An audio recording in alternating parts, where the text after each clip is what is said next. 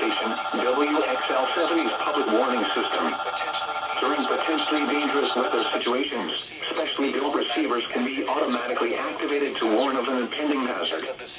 Test of the signal and receiver's performance are normally conducted between 11 a.m. and noon each Wednesday. If there had been a threat of severe weather, the test would have been postponed until the next available good weather day. Reception of this broadcast and the warning alarm will vary at any given location. This variability, normally more noticeable at greater distances from the transmitter, can occur even though you are using a good quality receiver in good working order. The warning alarm will be activated for hazardous watches and warnings. For station WXL70, broadcasting near Charlotte, on a frequency of 162.475 MHz, the warning alarm will be activated for the following counties in North Carolina, Alexander, Anson, Cabarrus, Catawba, Cleveland,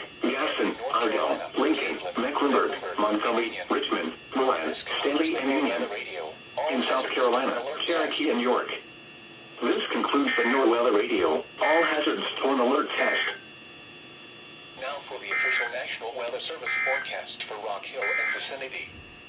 The Charlotte, North Carolina climate summary for yesterday, February 8, 2022. Southwest winds 5 to 10 Yesterday's high temperature of 56 degrees.